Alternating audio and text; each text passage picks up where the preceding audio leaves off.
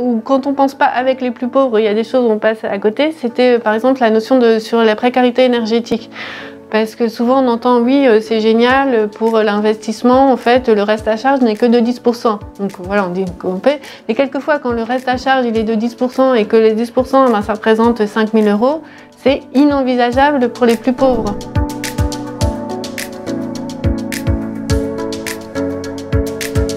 Bonjour à tous et bonjour à toutes. On est très heureux de vous retrouver pour euh, cette nouvelle vidéo euh, des éditions Carmonde. Alors aujourd'hui, on va parler d'un livre euh, spécial qui, est intitulé Reconstruire ensemble ce monde abîmé. C'est le livre que vous voyez juste devant. Alors pour parler de ce livre, on accueille deux personnes du département écologie et grande pauvreté, Mathilde Boissier et Céline Verselloni. Alors bonjour à toutes les deux et bienvenue dans cette vidéo. Alors euh, ensemble, on va essayer un peu de, retracer tout, le travail qu'il y a dans ce livre.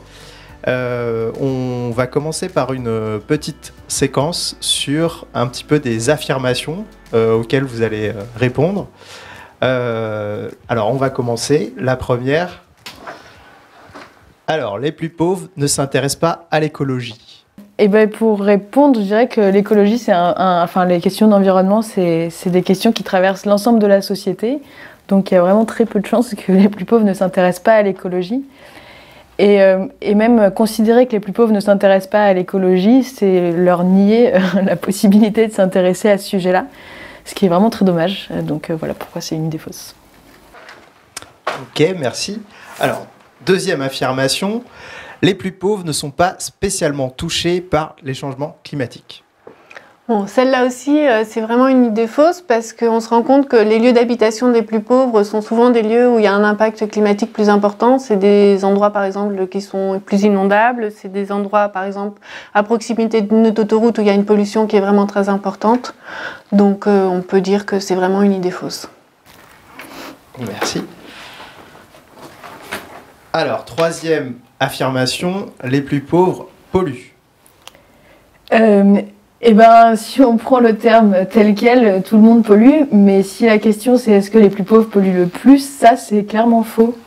Et on peut parler, voilà, si on ramène la pollution à des émissions de gaz à effet de serre, en fait les chiffres disent que ce sont les 10% les plus riches qui émettent la moitié euh, des émissions, alors que la moitié des plus pauvres ne sont responsables que de 10%. Donc euh, c'est tout à fait faux. Euh, voilà. Donc c'est plutôt moins. C'est plutôt plus, on, est... riche, plus on pollue, et moins on est riche, moins on pollue. Ok, merci. Alors, dernière affirmation, si les plus pauvres sortent de la pauvreté, c'est mauvais pour la planète. Bon, déjà, par rapport à ce que vient de dire Mathilde, on se rend compte que c'est quand même les plus riches qui ont un impact vraiment, vraiment, mais vraiment plus important que les plus pauvres.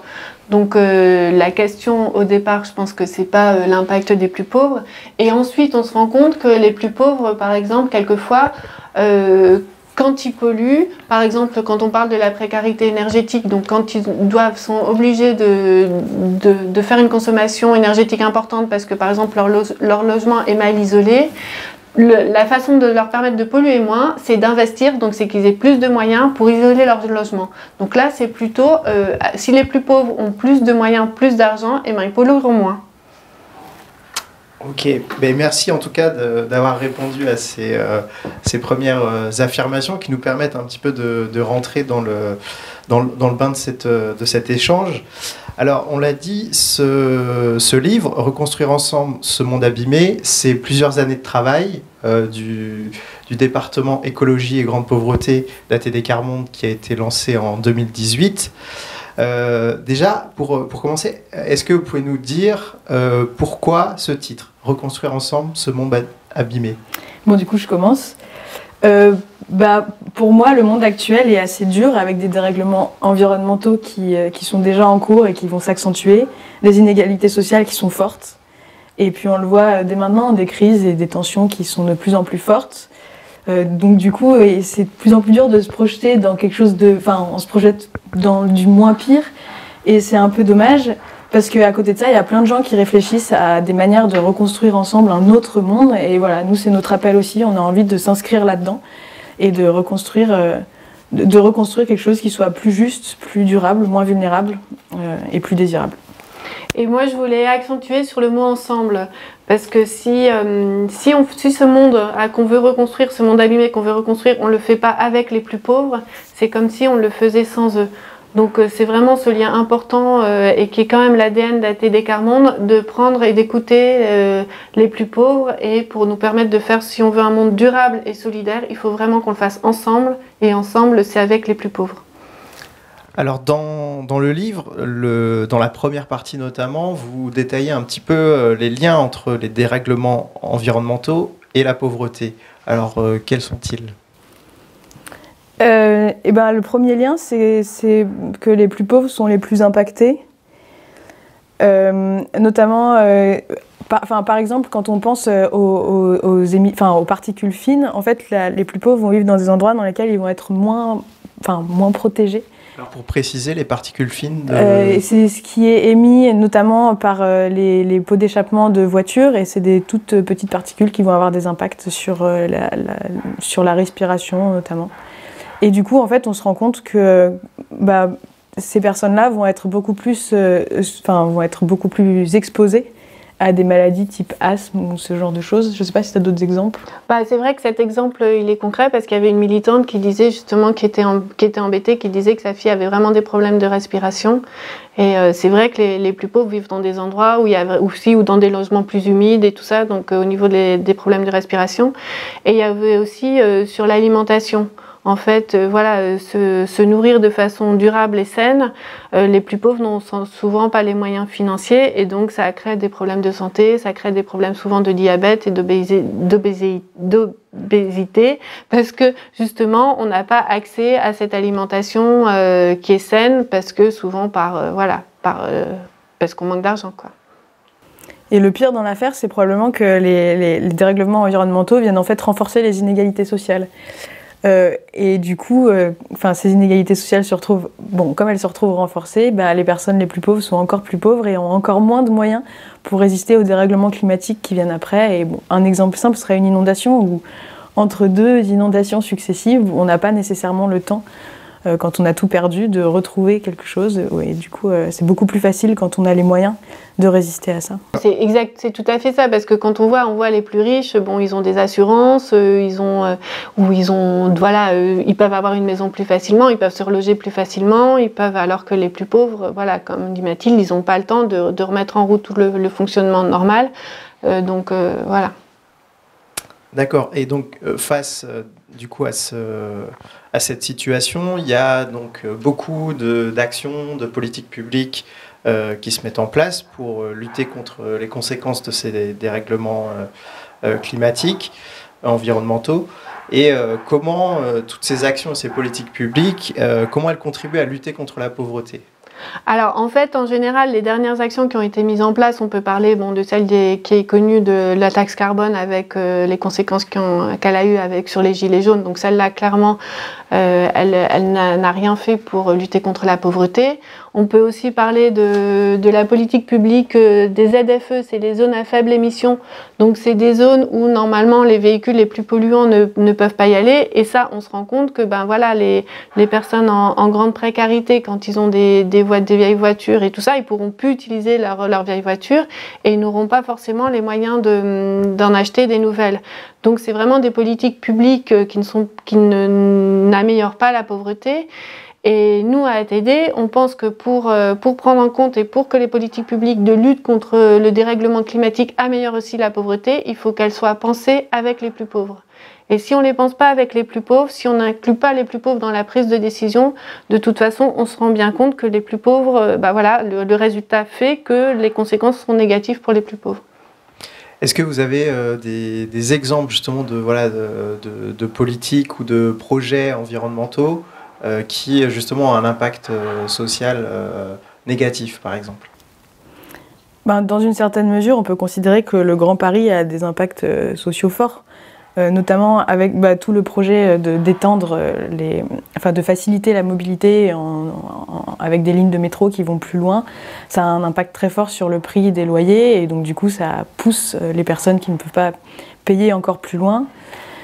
Euh, mais enfin, on, le voit. Euh, bon, ça c'est un exemple facile, mais c'est pareil pour les zones de verdissement qui font. Enfin, en fait, à chaque fois qu'on fait des choses bien pour le climat, ça fait monter les prix, et du coup, euh, ça exclut les personnes qui n'ont pas les moyens là-dessus. Donc, donc, en fait, on peut continuer à faire ces projets, mais il faut juste les penser un peu plus loin et, et réfléchir, par exemple, à un plafonnement des loyers ou réfléchir à des mesures qui permettent aux personnes de rester incluses dans des zones qui sont meilleures, enfin, qui sont qui sont plus agréables à vivre, quoi. Dans le livre, vous, vous dites que euh, le vivre en situation de pauvreté, ça limite le pouvoir d'agir, et notamment le pouvoir d'agir sur ces questions environnementales. Euh, en quoi, justement, euh, vivre en situation de pauvreté, ça limite ce pouvoir d'agir, notamment sur ces questions? Alors, le pouvoir d'agir, en fait, ça limite vraiment le pouvoir d'agir parce que les plus pauvres, leurs contributions, en général, ne sont pas reconnues.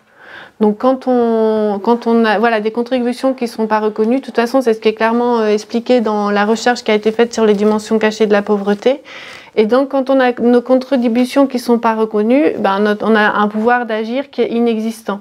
Et donc c'est ce pouvoir d'agir qui est vraiment... Euh, qui est vraiment bloqué au départ, euh, où les personnes en pauvreté, elles ne sont pas entendues, et donc leurs actions, comme elles ne sont pas entendues, leurs idées leur, ne sont pas prises en compte.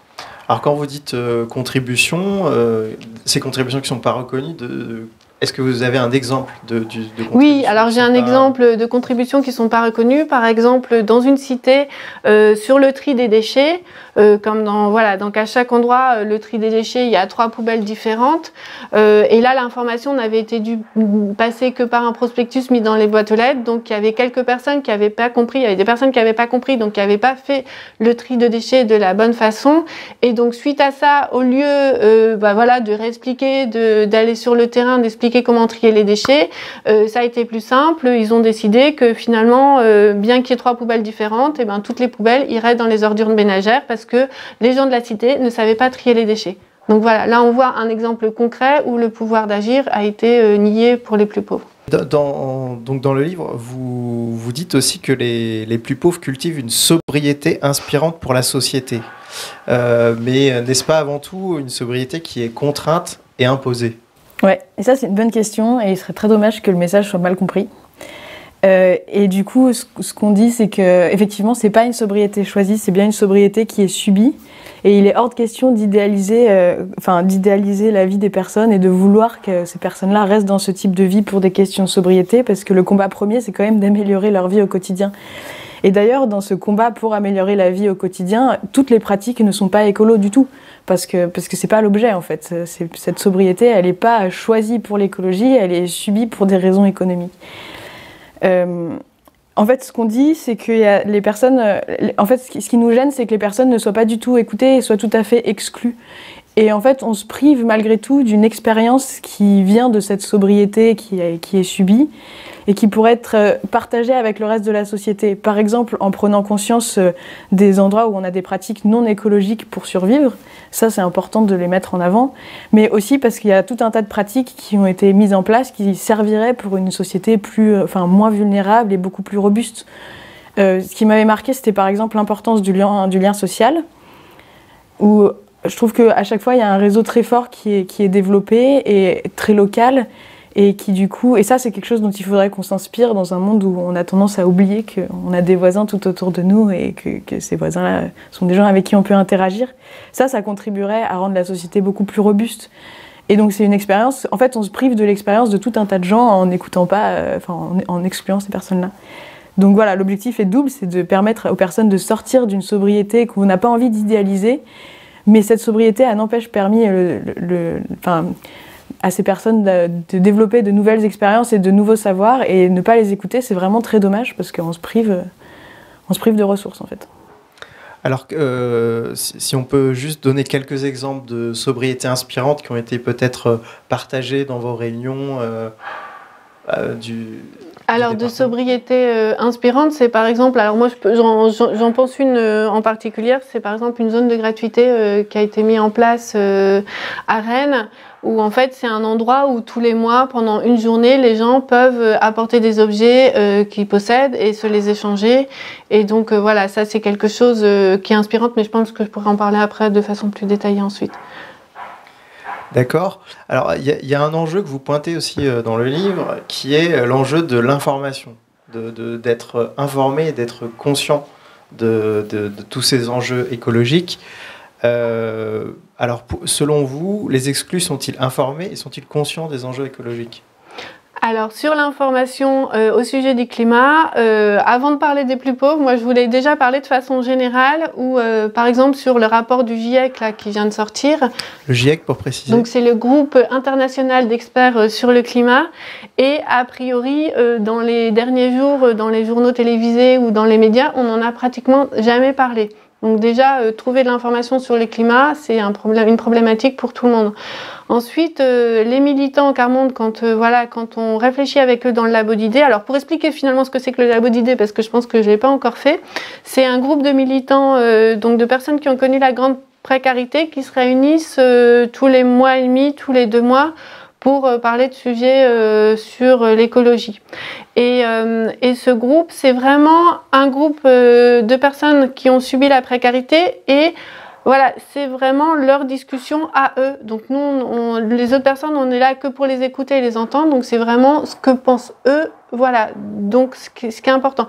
Et, et, une des personnes de, de ce labo d'idées, disait que, hum, que donc l'information, elle les avait par les réseaux sociaux, mais qu'il fallait qu'elle fasse très attention euh, de ne pas avoir de fausses informations.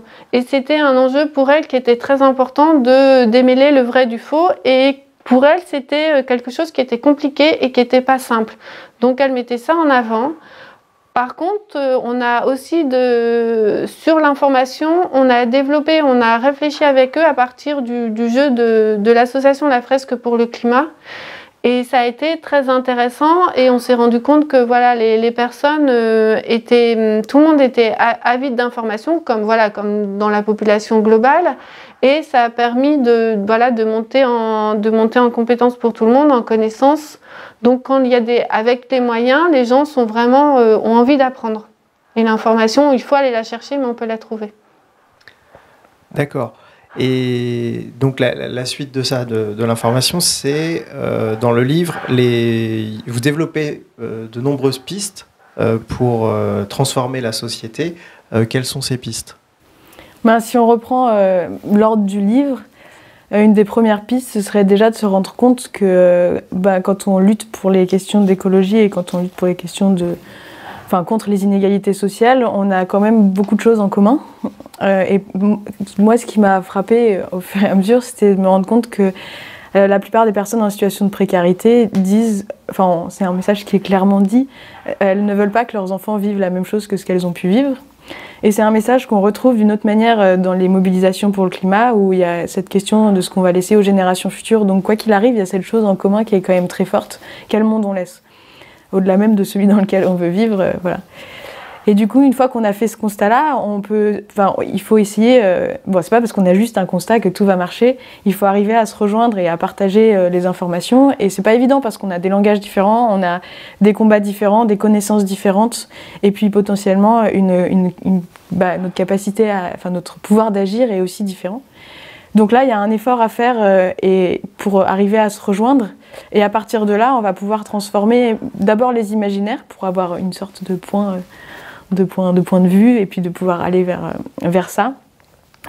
pour imaginer un, monde qui soit, qui soit plus juste et plus durable. Et ensuite, bah, c'est mettre cet imaginaire en pratique en allant pousser des initiatives à des échelles locales.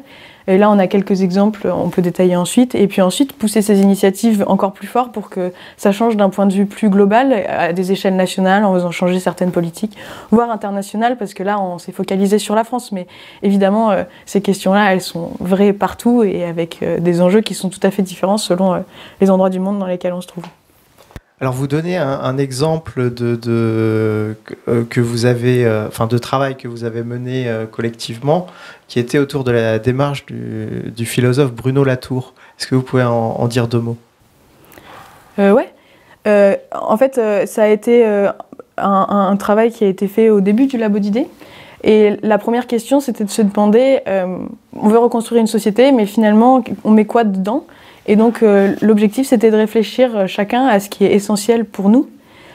Et, euh, du coup on, s'est rendu compte qu'il y avait une certaine diversité de choses qui, arrivaient et c'est un super exercice pour réfléchir ensemble à un imaginaire commun. Parce qu'on est des personnes différentes, du coup on a une manière d'appréhender la vie qui est différente.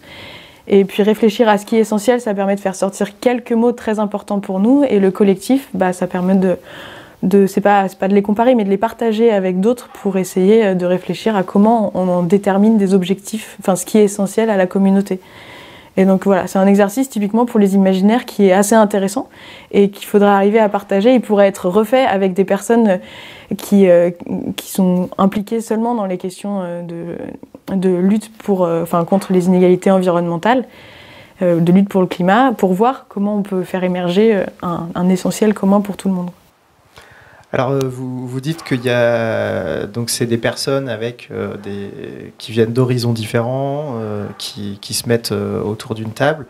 mais il y, a, y, a, aussi, et vous en parlez dans, justement dans les pistes, des, des façons de travailler, une démarche qui est, qui est aussi un peu spécifique à ATD. tout le travail en groupe de pairs et en croisement des, des savoirs et des pratiques. Est-ce que vous pouvez en dire deux mots aussi? Alors le croisement des savoirs et des pratiques, c'est sûr que c'est un outil qui a été mis en place à TD, qui est vraiment un outil euh, extraordinaire et qui qui a permis de faire des choses comme par exemple la recherche sur les dimensions cachées de la pauvreté, qui est une recherche internationale avec l'Université d'Oxford. Et c'est un, un, outil qui permet de mettre en avant et de faire converger et de s'appuyer sur, euh, sur trois savoirs différents. Le savoir euh, voilà, d'expertise des chercheurs, le savoir de vécu, donc des militants carmondes, des personnes qui ont connu la grande précarité, et le savoir des professionnels.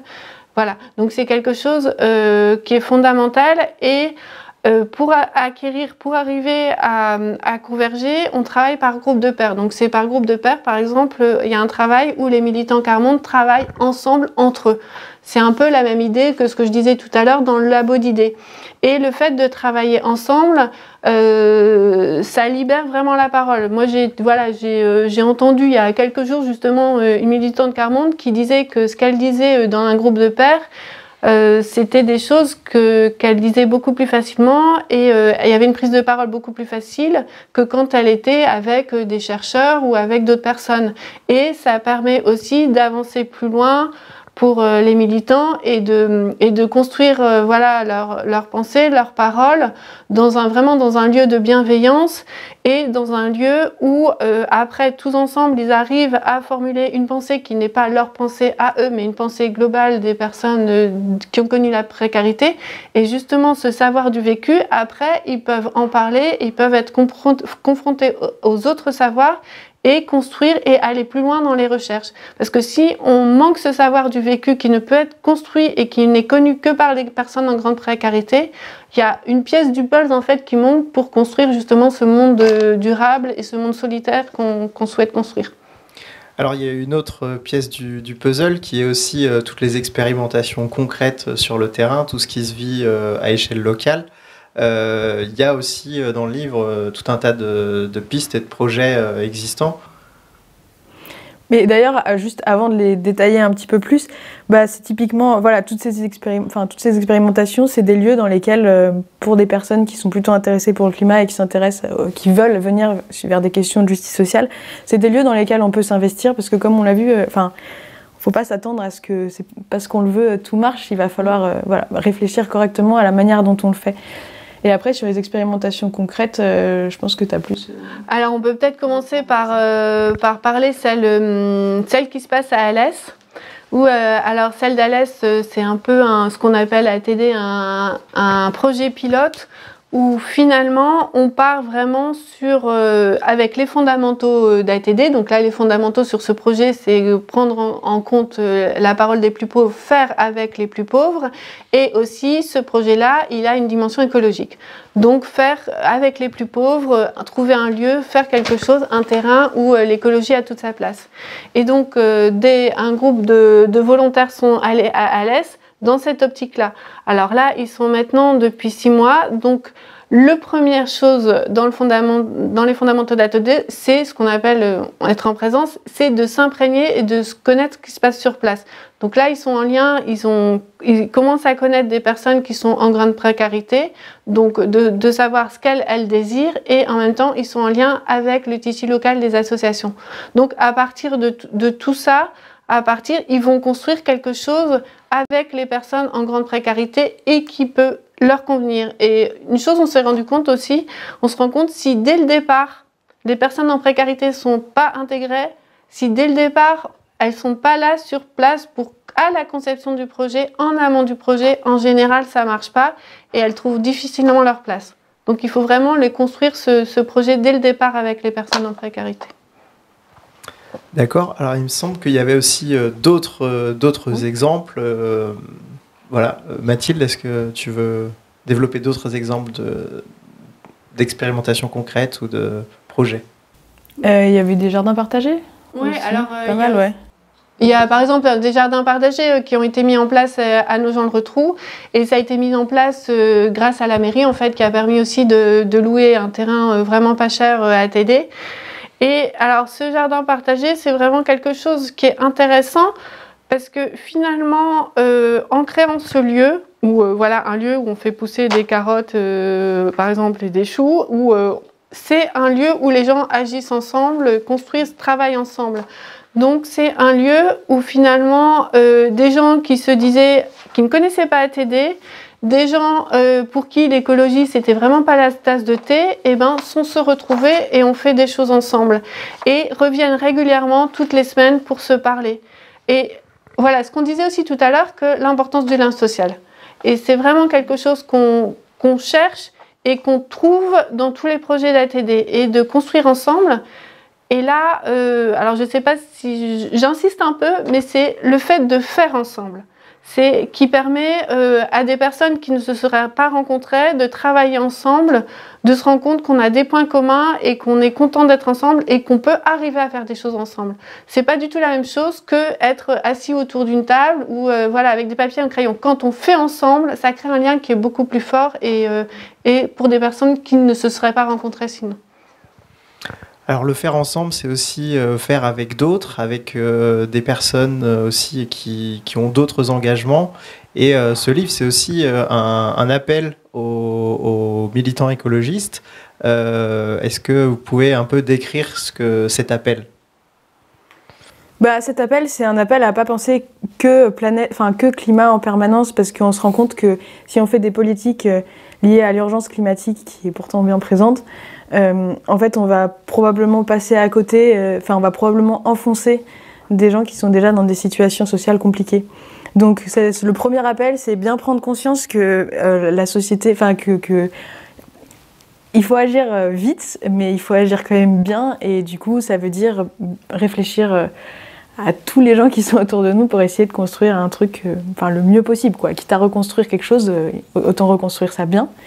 Et ensuite, cet appel, il est bah, du coup à venir euh, à rencontrer ces autres problématiques qu'on n'est pas en train de combattre euh, tout le temps, de venir rencontrer les autres combats et de venir rencontrer les gens qui les portent euh, pour être bah, le plus à même de construire quelque chose d'intelligent et de le construire collectivement.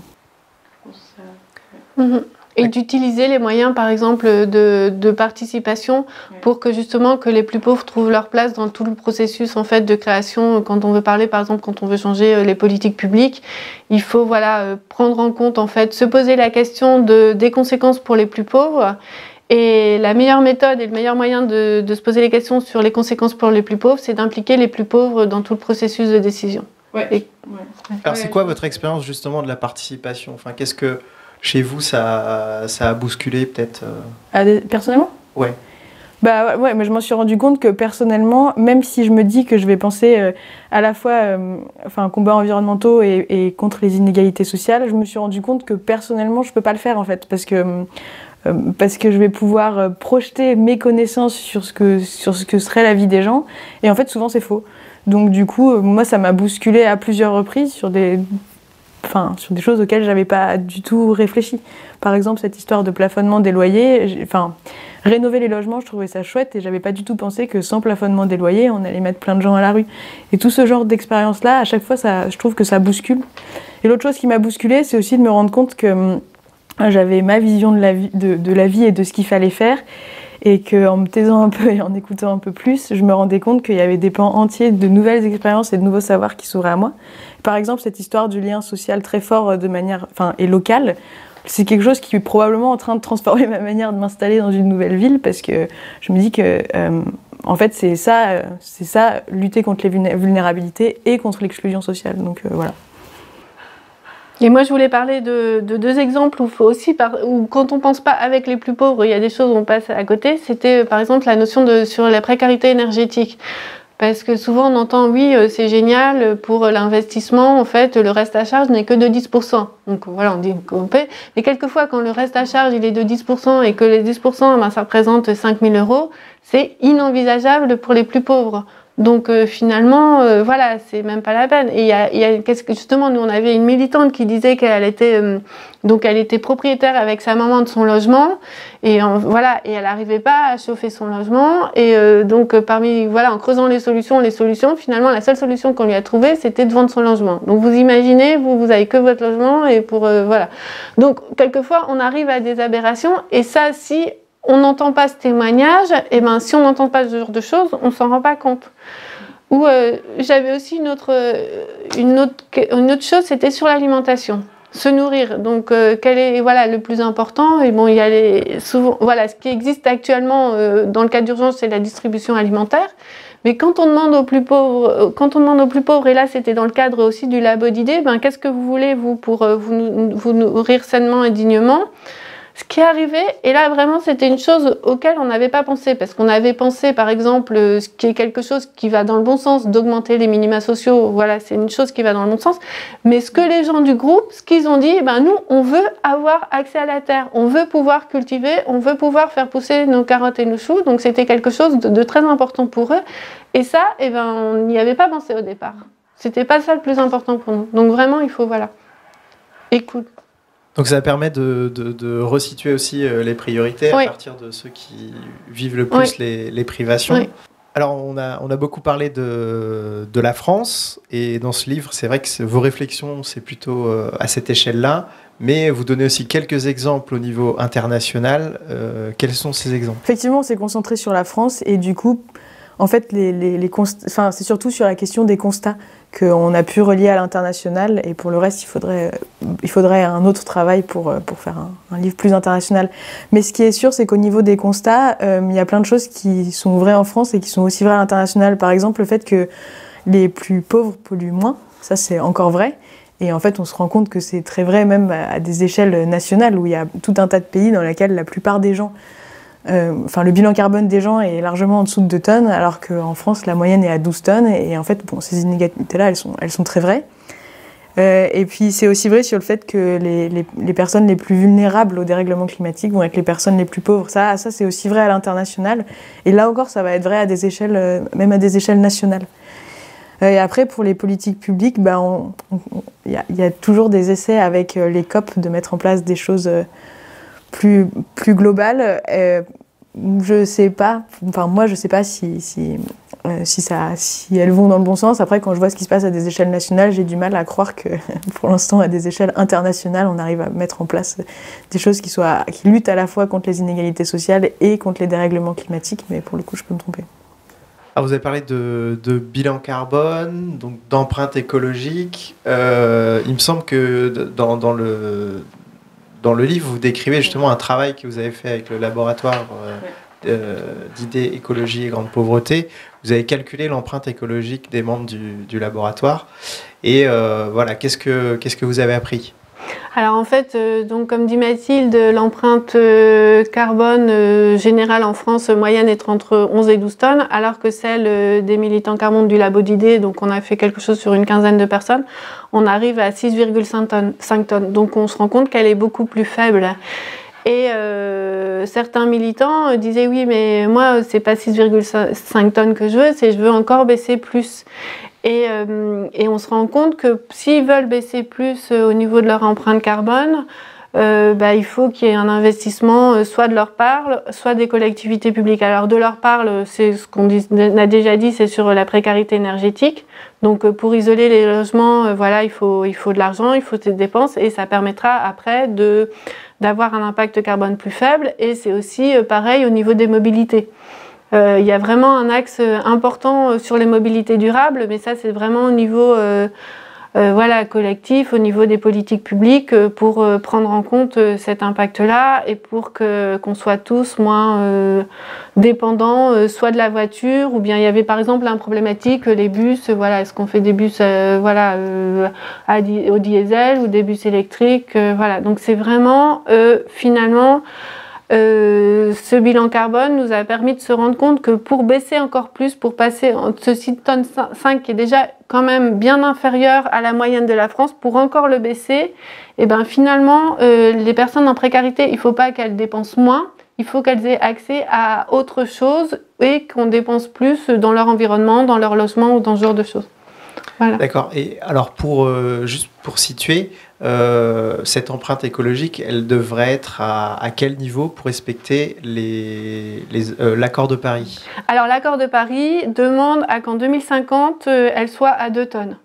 Donc l'objectif, c'est qu'en 2050, on soit à 2 tonnes.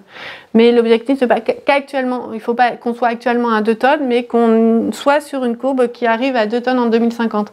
Donc il faut commencer dès le maintenant, parce qu'on voit que la marche est vraiment énorme. Donc si on attend encore 10 ans pour euh, baisser notre, empreinte carbone, et eh ben, euh, la pente sera de plus en plus raide, et à un moment, ben, euh, voilà, ça sera plus possible. quoi. Bah, d'autant plus que c'est la. Enfin, en attendant, on émet toujours autant et ça, ça reste dans l'atmosphère. Donc, euh, plus on descend tôt, euh, plus c'est pertinent à la fois pour la vitesse de descente et à la fois pour la quantité d'émissions. Exactement. Ce que dit Mathilde, c'est qu'en fait, si on si on descend pas, il y a le stock qui augmente toujours. Donc, euh, on rajoute, on rajoute, on rajoute dans le stock. Et donc, si, dès qu'on commence à baisser, ben, il y a le stock qui va moins augmenter. Donc, c'est de toute façon, voilà, c'est vraiment essentiel. Euh, bah écoutez, on arrive euh, bientôt vers la, fin de, cette vidéo.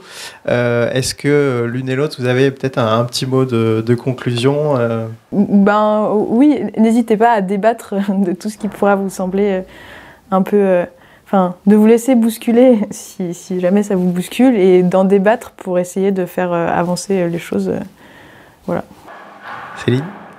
Oui, et puis bah, que, que c'est un sujet tellement fond. Voilà, c'est les deux sujets en plus, pour moi les plus importants euh, actuellement et dans, je sais pas, les dix, ans, dix années à venir, euh, la précarité, euh, du moins la crise climatique, la crise de la biodiversité et, et le fait voilà, que tout le monde puisse subvenir dignement à ses besoins. Donc voilà, donc c'est les deux sujets les plus fondamentaux et donc je suis voilà, super content qu'on les défende dans ce livre et que et qu'APD, voilà. Et bien justement, ce livre, euh, donc on rappelle le titre euh, Reconstruire ensemble ce monde abîmé. Vous avez la couverture qui est euh, le livre qui est juste devant nous. Donc ce livre, il est disponible sur le site des éditions Carmonde. Euh, n'hésitez pas à vous renseigner. Si vous êtes un groupe d'ATD Carmonde, n'hésitez pas aussi à, le commander et à faire plein d'événements. Donc les, autrices du livre et Jean-Christophe Sarro, qui est aussi auteur du livre, sont disponibles pour venir en parler, venir débattre, venir échanger. Si vous êtes militant et écolo, euh, n'hésitez pas aussi à, contacter le département écologie et grande pauvreté d'ATD Carmonde. On va mettre, euh, je pense, le, lien, euh, l'adresse mail. Comme ça, voilà, n'hésitez pas à venir en parler. Eh ben, en tout cas, merci, euh, merci à toutes les deux euh, d'être venues. Bah, merci à toi, Geoffrey. Et euh, donc, on, avait aussi filmé le, alors la, parole de Christian, qui est militant Carmonde et qui est aussi membre du labo, labo d'idées écologie et grande pauvreté. voilà, on va, on va lui laisser la parole et la, la note de fin. Voilà. Merci et à bientôt. Ben, on m'a invité avec Véronique Gravat euh, moi, je fais partie des UP depuis à peu près 6 ans, ouais, 2017. Et on m'a dit, euh, ben, ce serait bien que tu rejoignes euh, le, labo d'idées, voilà. Et ça, ça me convient bien. Disons que j'ai une vie différente des autres, peut-être. Moi, je pense comme ça. Une vie différente des autres et je me suis débrouillé de plus ou moins comme ça. parce qu'aux UP, on me demandait comment je vivais depuis longtemps, au niveau pas en recyclage, au niveau euh, comment je me débrouillais au niveau alimentation, pourquoi j'allais dans récupérer des poubelles quand, quand j'étais pas trop malade, euh, voilà, et, et c'est venu comme ça. Là, c'est une suite, voilà. Je te rappelle quelques idées qui ont été dites. Ben, Euh, si on reprend la question, c'est une alimentation saine pour tout le monde. Saine pour tout le monde. Et au moins avoir un budget pour se nourrir correctement. Et euh, si on, mange correctement, on a moins de, problèmes de santé, moins de frais d'hospitalisation, moins de maladies. Voilà. Ça devrait être éduqué. Comme nous, avant, à l'école, on avait une fois par semaine une heure de sciences naturelles. Maintenant, ça a été remplacé par les SVT. Mais maintenant, ils ont aussi changé. Ça. Il n'y a plus ce, lien avec la nature. Il y a des gens, il y a des enfants, bon ben, euh, je vais pas caricaturer le trait, mais euh, ils savent pas qu'est-ce que c'est un poisson. Ils pensent que le poisson, c'est le truc de croustibat ou, euh, pour ne pas le citer, ou alors, euh, dès qu'il voit une vache, euh, bon, ben, il s'émerveille, mais bon. La vache, ben, elle produit pas des briques de lait, elle produit du lait déjà. Je crois que non, il faut se reconnecter à, à la vraie vie. Et malheureusement, en milieu urbain, c'est très difficile. Pourquoi c'est très difficile? Parce que ben les gens ils deviennent de moins en moins aisés. Ils vont moins en à la campagne, et puis la campagne, plus ça va, plus l'urbanisation se développe. Moins la campagne, elle est accessible. Avant, l'accessible, euh, la campagne, elle était à 15 km d'ici. Maintenant, tu rajoutes 30 km pour ici. Bon, déjà, les, pauvres, ben, bon, ils polluent un peu plus que, que la moyenne parce que, bon, ils ont des véhicules, bon, un peu anciens. Tu vois bien, hein, notre voiture, elle a plus de 20 ans. Mais euh, nous, on ne se déplace pas. Si on se déplace, c'est professionnellement, professionnellement et on fait quelques courses. Mais sans ça, on va pas. Euh, bon, on va pas à l'autre bout du monde pour euh, passer un week-end à New York parce que, bah, sous, prétexte c'est la Thanksgiving ou je sais pas quoi. on a une chauffeuse au fuel depuis des années. C'est la pavie de mon père. Mais ben, on voyage pas. Non, je pense que c'est les riches qui, payent, disons les, personnes les plus aisées qui payent le, qui, polluent le plus. Parce que les, personnes les plus aisées, d'abord, ils gaspillent énormément, point de vue nourriture. Entre les deux, nous, on, gaspille, on, on prend et on gaspille pas. Mais la personne qui est, entre guillemets, intermédiaire au milieu, bah, il gaspille et puis il jette. Voilà. Et euh, bon, nous, on fait très attention à l'eau, ce qui est important. Euh, bon, l'énergie, euh, l'énergie. Voilà. Quand je fais les, encombrants, moi j'ai commencé il y a plus de 30 ans. Avant, on était deux à faire tout au bon. Au bon, la population, elle a peut-être doublé ou triplé. Là, hier, on a fait les encombrants on était 18 à faire les encombrants. Et tout le monde travaille. Ça veut dire que j'en vois pas le, je vois pas le bout de, du non-gaspillage, du, non du respect de la nature. Plus ça va, plus, plus on gaspille. Voilà.